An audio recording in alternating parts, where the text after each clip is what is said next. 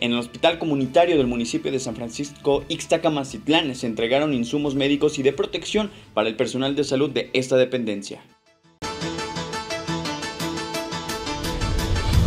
Viene este, con nosotros eh, el presidente de la red de municipios por la salud, este, el delegado del DIF.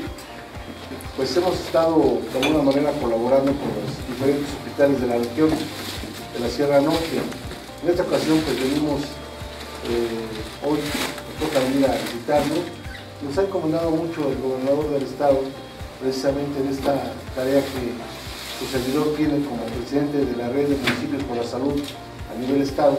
Por usos y costumbres muchas veces es diferente eh, precisamente las necesidades que se puedan tener, porque siempre hemos visto, no solamente en estos momentos, que, que ustedes tienen un trabajo muy, muy importante en este sector salud.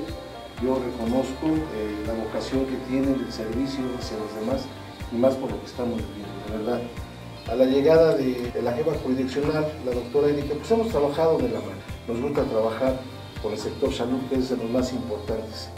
Ok, pues saludo con mucho afecto a todos los medios de comunicación, a la ciudadanía general que nos, nos ve por, por las redes sociales y por todos los medios de ustedes que hacen posible que precisamente pues haya una comunicación de trabajo, de transparencia y sobre todo de colaboración.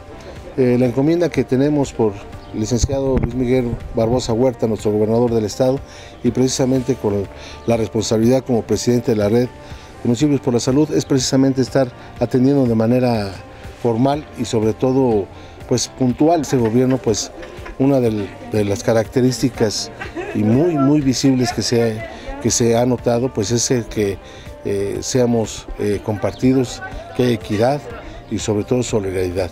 Así es que pues estos municipios de la Sierra Norte sin duda son de los que tienen más este, problemáticas de la calidad de vida. Eh, hay mucha alta marginación, marginación que, realmente por años se se ha, vivido. Es fundamental llevar un censo realmente con transparencia. Se tiene que ver el número de gente y sobre todo ver el potencial de cada municipio para el progreso que viene a futuro para los siguientes programas. Con mi reconocimiento a la presidenta del DIF de aquí, que con mucho gusto se acercó y dijo, no, déjenme los documentos acá y nosotros venimos por ellos. O sea, no hay momento para que gaste la gente y, y vaya a entregar.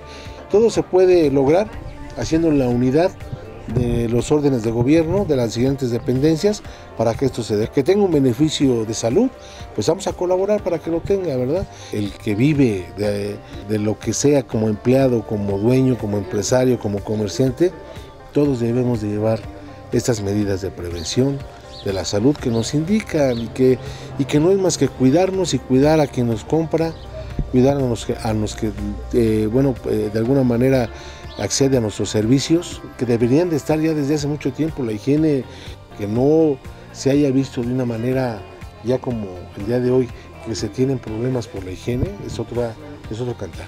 Eh, invitarlos a todos a que seamos ahora sí que obedientes, ¿verdad? que sabamos obedecer. Muchas veces no nos gustan las normativas, las normas que nos impongan, lo reconozco.